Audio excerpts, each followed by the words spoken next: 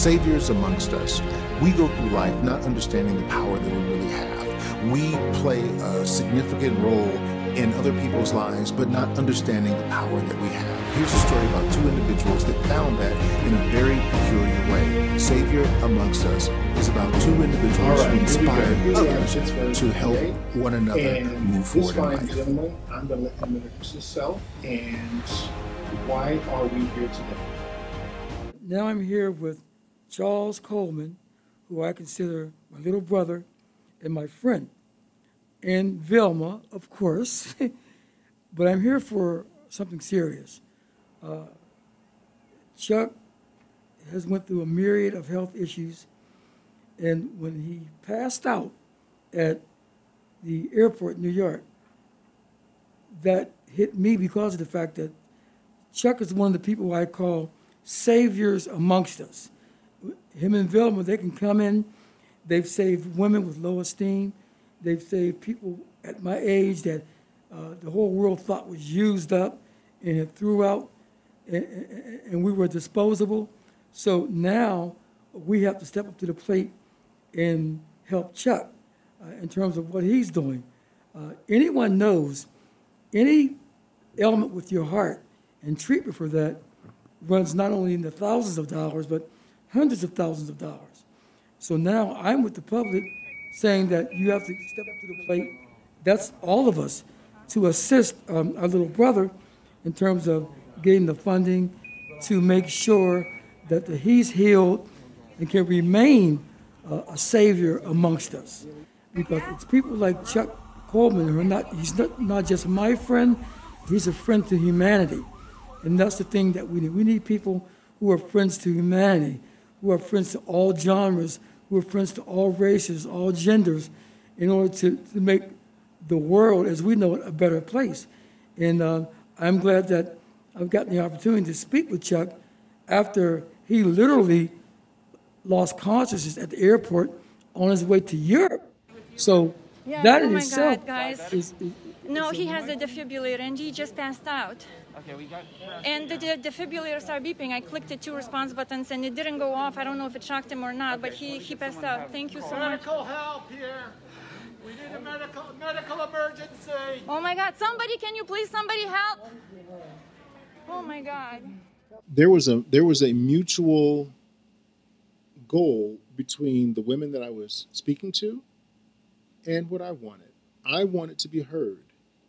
And as I'm going around the world doing these retreats, this is what I heard from women. They just want to be heard.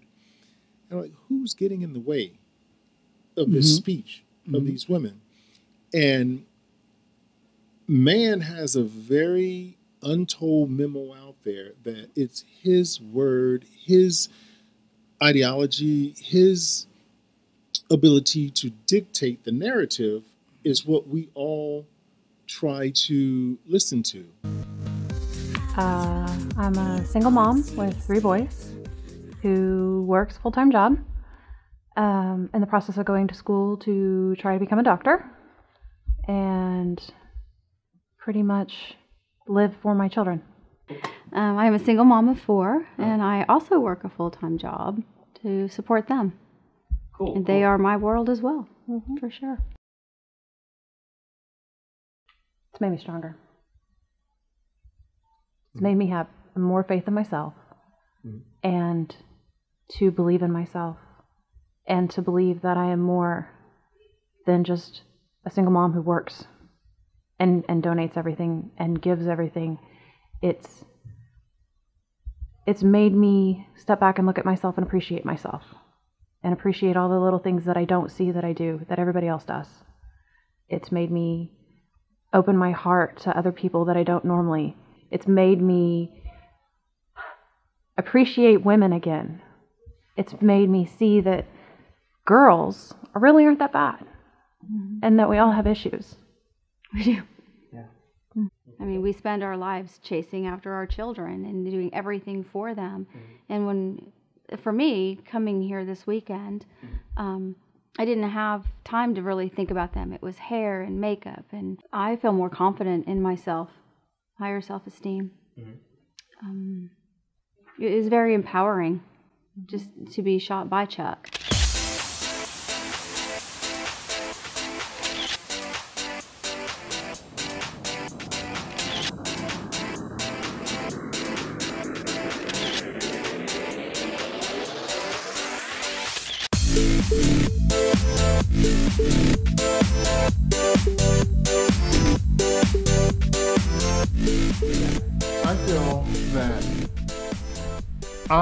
Operate backwards.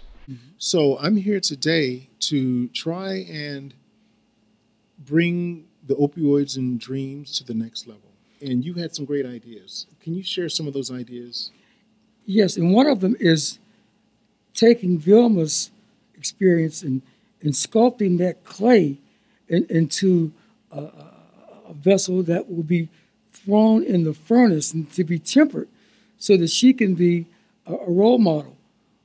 What, what she endured, I saw her turn, literally turn tragedy into triumph.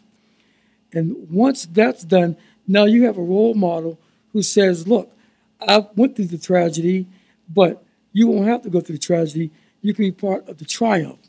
And that's the key. When people who are facilitators in humanity, when they're the ones that come along and say, you know what, I'm going to bare my soul. I'm going to let you see what I went through, even though it might be harmful cosmetically to me, for you to see this.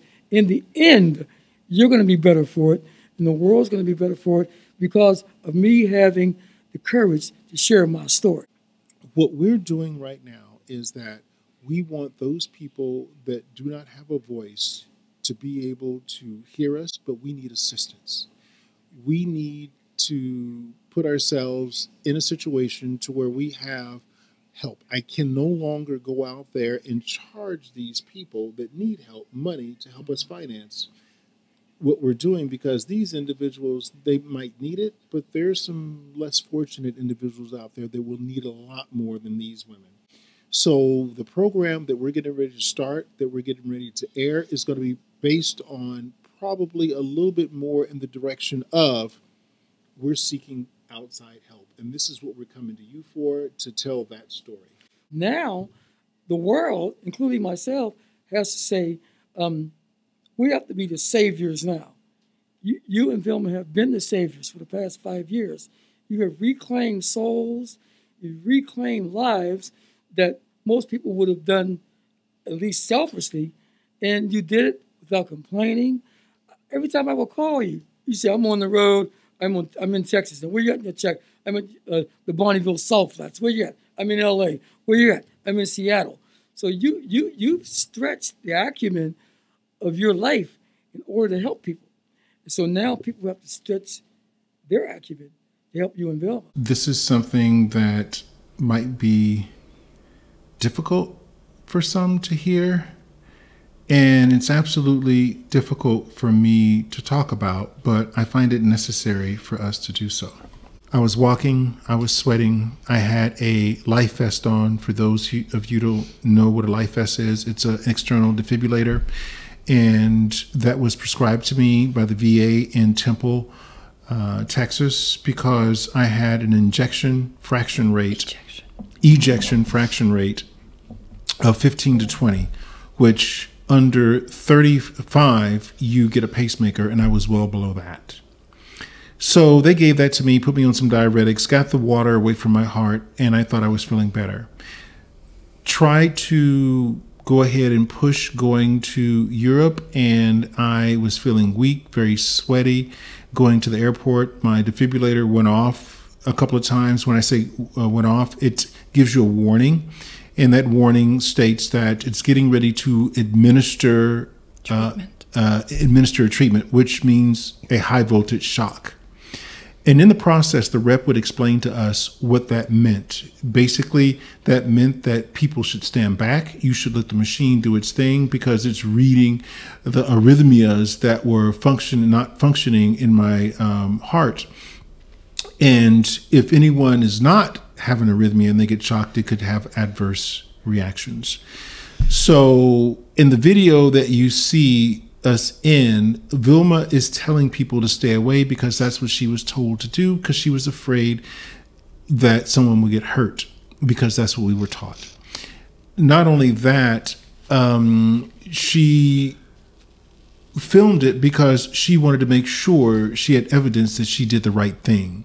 Because this was something like in anyone who has a loved one going through something like this, this could be very traumatic. It did its thing when I was awake. It felt like something exploded in my chest. I and I was awake when it happened. It was a huge explosion. My body curled up. I seen a huge light. I seen a huge light come up and get smaller again. I seen my body curled up and it slowly went away. And basically, I told Vilma and everything that we do, our whole life is an open book, and we save each other's lives over and over, you know, and it's just something that we do. Not many like that or are okay with that, but here's what we received. Many people, including my family, sent me messages. Oh, did you know your aunt so and so had that? Did you know that's what your brother, you know, was suffering from? I didn't know any of these things because people don't speak about it. I even had people send me and Vilma private messages saying, You should not do that. My friends are calling me up telling me not to do that. That's okay. You know, whatever you believe in, whatever, you know, um, makes you feel comfortable, that's okay. But it makes me comfortable voicing what goes on because we're all about women's empowerment and empowerment in general. We're all about communication.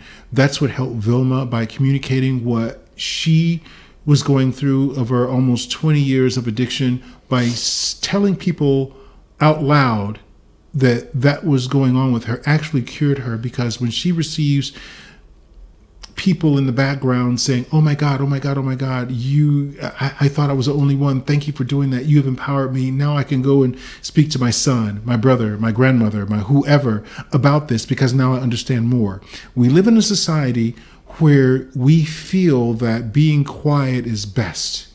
But in order to make good decisions, you really have to have information.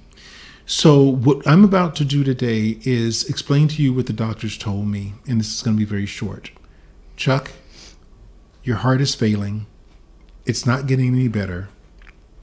People with a ejection fraction rate of 15 and below, 78% of those don't last two years. And I need to get on the donor list, but I can't stop living. I love what I do. So, what we're going to do, we're going to change a lot of things that we do. I can't rip and run around anymore. It's very stressful. I get a lot of questions about, hey, uh, I need my pictures. I need my pictures. This is okay. And I understand. But we're going to change some things around because I can't have people pay for something to be happy. We need to find a new way to get some assistance to help, first of all, me put me in a situation where I can continue to help and also put me in a situation where I can continue my life's work. So, a heart transplant is it and we're going to be. Um, I have a bunch of friends and and family members that are putting something together for me. So as of right now, I'm putting this in the open. Um, I know a lot of you are speaking in the background with one another, but um, what we're doing now is, you know, letting everyone know I need to get on the heart transplant plant list. Um, feel free to reach out. Keep your questions, you know, pretty, you know, straight to the point. Um, I don't mind answering questions, but I can only answer so few. And I am, you know, I'm in good spirits. I've lost a lot of weight. Um, the younger girls are starting to call me up now, you know. But um, Vilma, come on, girl. You, you have a lot of people looking up to you. Stay strong and um, we have a lot going on. I know what saved Vilma. I know what other people are um, getting good out of the things that we do. And just remember where we stand and And uh, we're just going to keep on moving forward, guys. You guys take care. We love you. You want to say something? We both have seen death. And I don't believe either one of us are afraid anymore.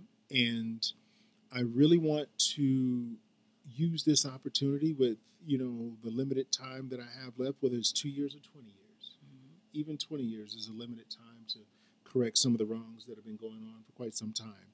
So, without any further ado, let's go ahead and forge forward and make this happen. So tell everyone around you that surrounds you that if they don't love Chuck enough, they tell you it's going to be better on the other side. It's going to be better. It's a better place.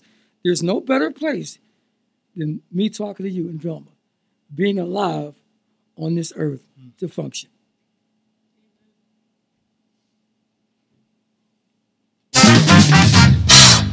All right, ladies and gentlemen, that's it right now, and um, to be continued.